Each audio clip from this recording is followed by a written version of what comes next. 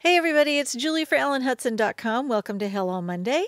I thought it would be really fun to make an interactive Valentine. Now this one does fold flat, so you can stick it inside a standard A2 envelope. But look at that fun interaction. When you pull apart the sides, it's giving you a hug.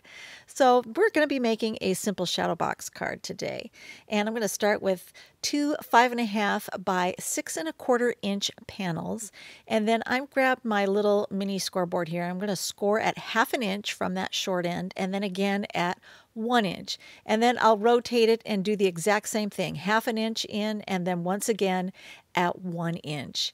And these folds are going to be uh, recreated on the second panel so that both of them have the exact same score lines. And then I'm going to mount and fold that one inch and crease that with my bone folder there, give it nice and sharp crease there.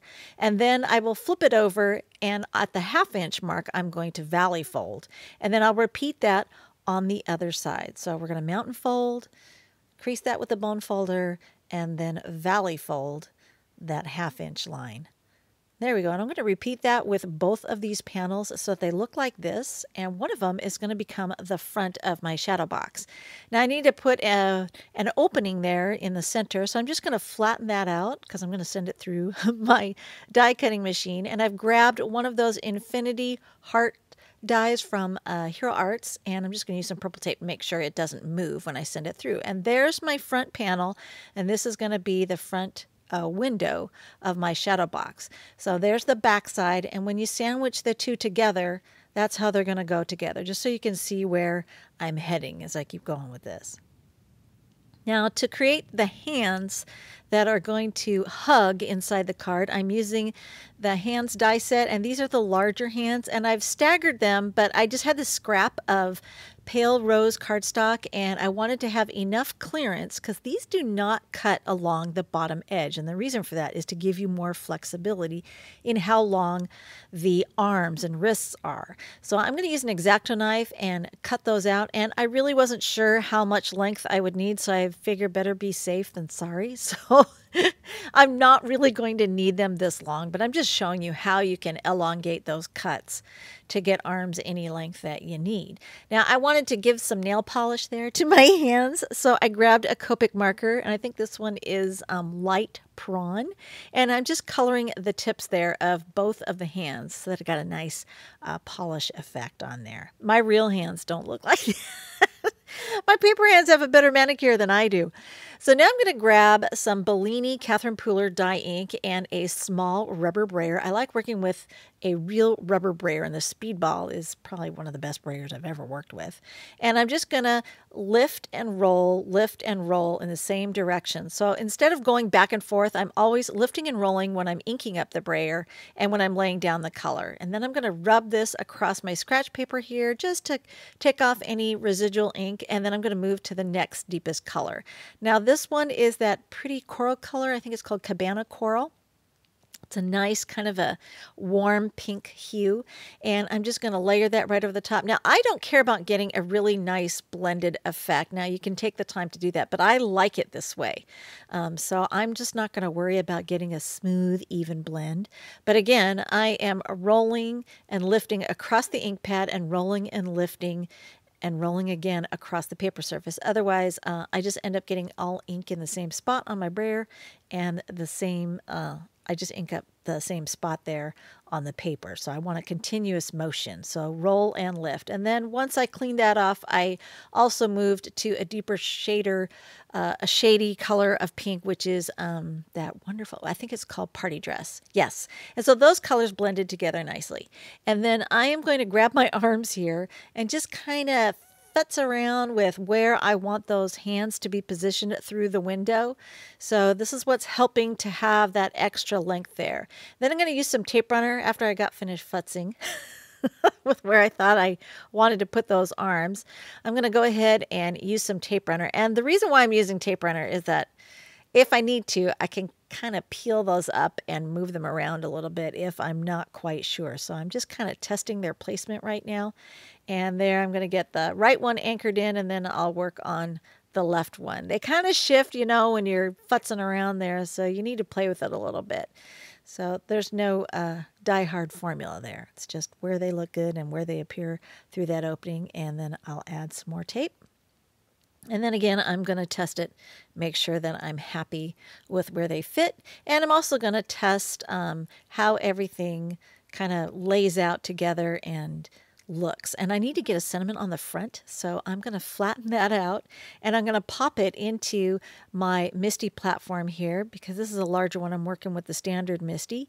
And then I've grabbed a sentiment from the High Five stamp set and I'm going to position it right there. Now there's a method to my madness. Don't worry that it's going through the opening there. And it looks like the paper shifted a little bit when I was getting that mounted, so I'll just reposition it back into place there. So my magnets were not as strong as the suckiness of that clean stamp. So now I'm going to take some cellophane tape. You could use washi tape or masking tape, whatever you got. I have cellophane tape handy, so I just grabbed that. And I'm going to mask off, and I just realized that um, I'm off camera here. So I'm going to pull that back into view and show you how I'm placing this tape. Now, I just want the word hugs. I don't want the word Mondo and squishy, although I love using that sentiment. I often say that. but I just wanted the word hugs on this card. So I'm going to ink up, and then here's the critical part. See, so I've protected the words Mondo and squishy and inked up just the word hugs.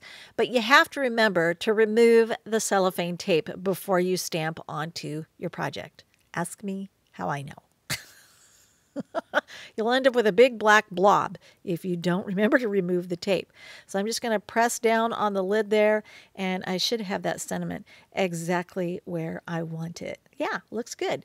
So now I'm not going to mess around with that anymore. I'm going to go ahead and take these little tiny hearts. In hindsight, I was looking back at it and going, you know, I want a little bit more interest on this. So I'm using Party Dress, which is a nice, uh, pretty pink. It was the color I used at the very bottom there. And because it's the darkest of these three colors, I don't want it to be super dark, but I just wanted to add a little bit of kind of like textural interest here.